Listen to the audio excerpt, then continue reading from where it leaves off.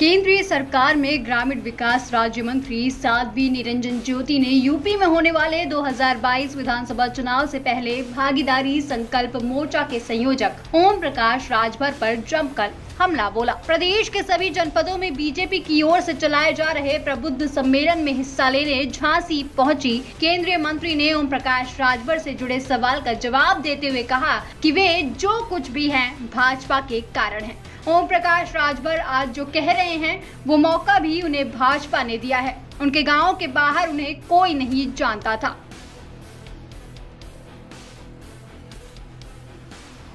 मुझे लग रहा है कि आज जो ओम प्रकाश राजभर जी बोल रहे हैं, ये मौका भी भारतीय जनता पार्टी ने ही दिया है। नहीं, उनके गाँव में छोड़ के कोई जानता भी नहीं था। पूर्वांचल में दो तीन जनपदों में जानते होंगे। चार विधायक चुन के आ गए तो भारतीय जनता पार्टी के कारण है। अब इस बार चुन के आ जाओ तो पता चले। देखिए, ये शब्द कह करके प्रबुद्ध लोगों का अपमान किया गया। ठीक? पूरे पूरे प्रदेश को सीएम बना देना हमारे, हमारी सरकार में एक काम करने की पद्धति है। अब जिसकी ज़्यादा महत्वाकांक्षा होगी तो उसके लिए कोई कुछ नहीं कर सकता।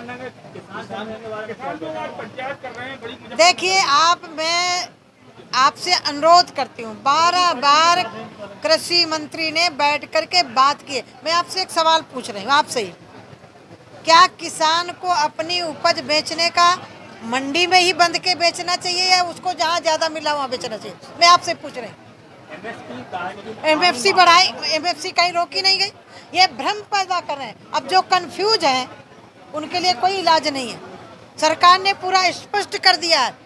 एमएसपी बंद नहीं हुई है। किसान को मंडी से मुक्त किया गया है। किसान मंडी में बेच सकता है। किसान को मध्य प्रदेश में अच्छा लाभ मिलता है। वहाँ जाके बेच सकता है। किसान को फ्री नहीं होना चाहिए। गाड़ी बनाने वाला ट्रैक्टर बनाने वाला पूरे विश्व में कहीं जाके बेच सकता है। तो किसान को मंडी में बाँध के रखना चाहिए। ये विपक्ष क्या चाहता है?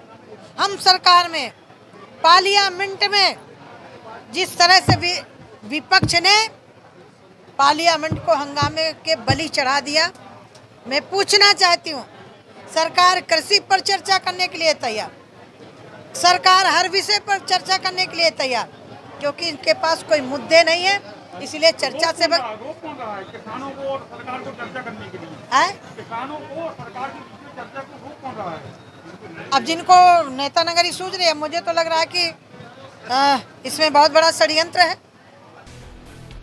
केंद्रीय मंत्री ने राजभर पर एक के बाद एक कई निशाने साधते हुए कहा कि पूर्वांचल में उन्हें दो तीन जनपदों में लोग जानते होंगे। वहीं राजभर के पाँच सीएम और 20 डिप्टी सीएम वाले बयान पर केंद्रीय मंत्री ने कहा कि वो चाहे तो पूरे प्रदेश को सीएम बना दे। हमारी सरकार में काम करने की एक पद्धति है, जिसकी ज़्यादा महत्वाकांक्षा होगी, उसका कोई कुछ नहीं कर सकता। झांसी से माय भारत के लिए शकील अली हाशमी की रिपोर्ट।